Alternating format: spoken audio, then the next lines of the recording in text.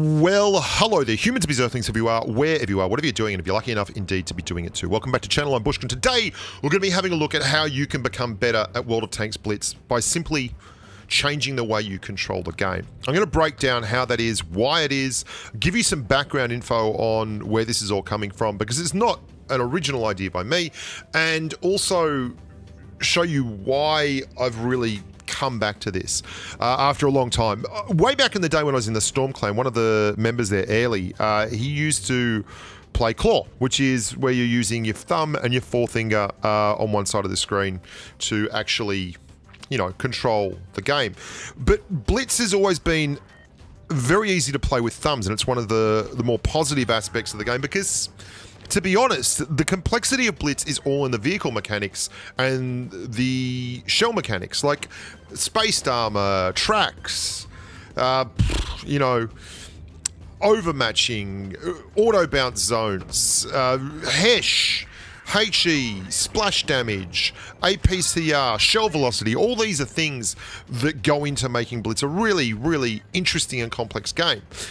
Whereas the control method is deceptively simple, like it really is. But there is still a huge advantage to being very good at controlling your vehicle. Obviously, the better you are at controlling your tank, the more likely you are to pull off quick shots and all that kind of thing. And over time, you get used to using your thumbs, and that's all well and good. What I'm going to do now is kind of a bit taboo, but I'm going to show you another game that I play called PUBG, and I'm going to show you the gameplay, just 20 seconds of it. And this is me playing ranked deathmatch uh, games, not the full classic game, just quick fire games like Blitz. Uh, and then I'm going to show you the controller layout, okay? Now, the thing I want to ram home here is how much better you can be at controlling your iPad if, or your, your phone or whatever, if you stop just using your thumbs. Um, this might look fairly straightforward, okay? But there's a lot going on here, like ducking, weaving, left and right. Have a look at my fingers when I'm doing this. I'm using what's called a six-finger claw method. I've got a zoom finger, I've got a lean finger, I've got a duck finger, I've got a lay down on the ground finger, I've got a jump finger. You know, it's all happening. And it allows you a much greater degree of control. Why not do this on Blitz, Bushka? Because, I mean, watch this. This is like so many different moving pieces. So let's talk a little bit about the Blitz interface. Blitz is a, an old game in terms of mobile gaming. It still looks great and it still provides exactly what's on the packet. It's a, a really fast paced and fun experience. But the UI is definitely outdated. Uh, it it is very different to most games in that it's super inflexible. Uh, for instance, and I'm going to break down a few of these things. If you are using the zoom key, you can only use it on the right side of the screen.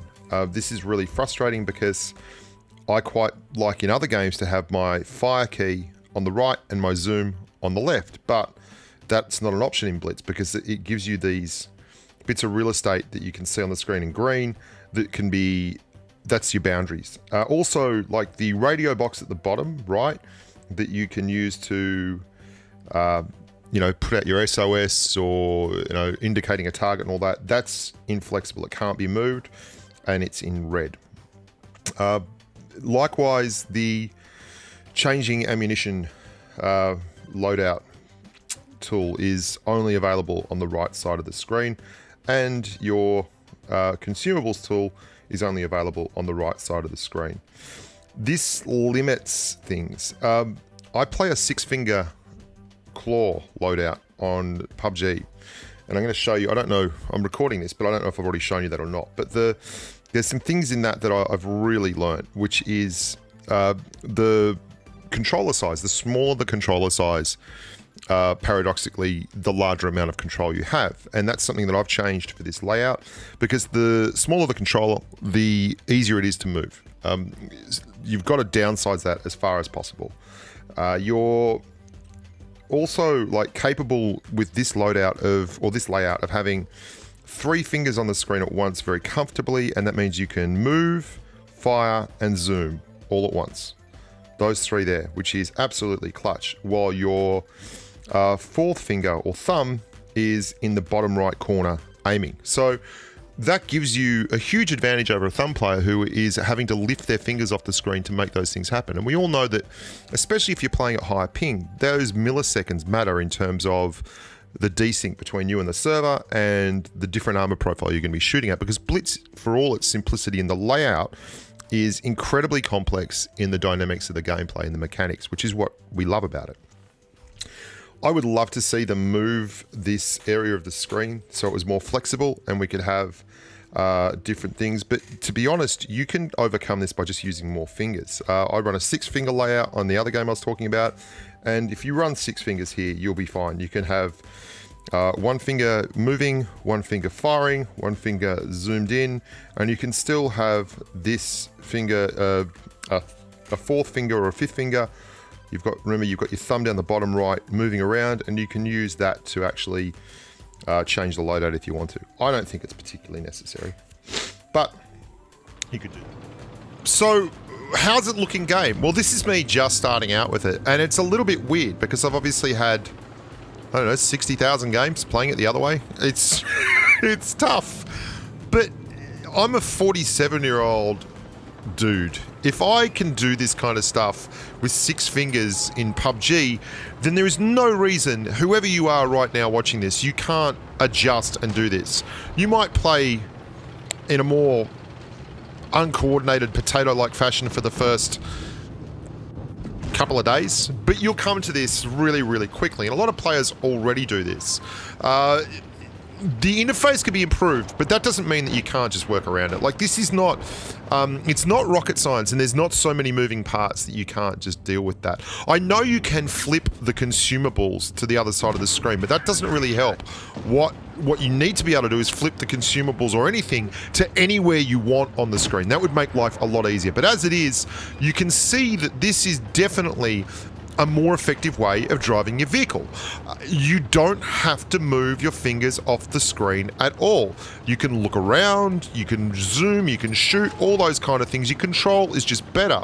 And you're going to see this couple of shots I take here on this J Panther, like a very quick snapshots, and I'm already moving backwards while I'm taking the shot because I have two buttons working on the left-hand side of the screen. A quick zoom in. Now, this doesn't go in, I don't think, but you can see how much quicker you can jiggle and wiggle. And that's really, really important. So I would suggest that if you're not already doing this, like on-the-move shots and everything are so much easier when you're doing this. I'd love to be able to move the radio button from the bottom left, but you can still move your thumb without moving your finger off the zoom button or the shell change button if you're not already doing this, then you probably should start looking at doing it. And God knows, I've wanted to do it for ages. And I've been playing a four finger claw in other games, and I've just switched to a six finger claw. I thought, I'm going to bite the bullet. I mean, I know you can do it in Blitz effectively. You can play with your thumbs and be one of the best players in the world. But if you're looking to maximize your return on your investment, if you're looking to be the best player you can possibly be, and it's about time I stepped up to the plate and made the change, why not do it with me?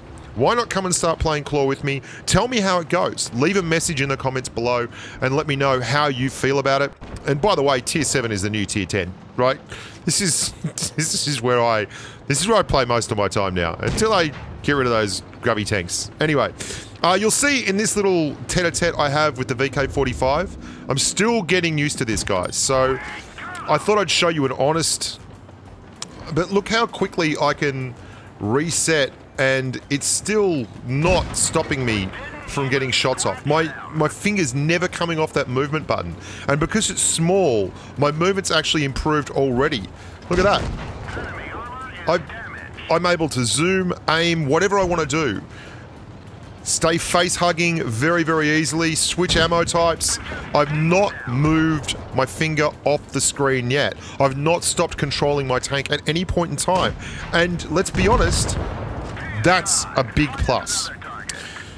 So, I also found on my hard drive uh, yesterday when I was looking for footage. Um, I've done a, like a whole video uh, that is old tanks that people put in like a couple of patches ago now, and uh, so I had it all edited, but I just haven't put the audio on it. So I'm going to put that the, the audio on that uh, again this week as well. So that video is coming up. We're going to have a look at the control setups in detail as we progress. We're going to let you see some more hand cam footage, and I'll, maybe do a couple of live streams where I include the hand cam footage so we can have a squiz and see how I'm progressing. Because at the moment I'm I'm pretty slow with it, but it's so much easier once you put the effort in. And having been someone that's done it before in another game, um, I can tell you that once you get it sorted, it's sorted for good. It's like riding a bike. You can't help but stay on. Uh, look after yourselves, love your work, and as always, stay safe on the battlefield. Bye for now.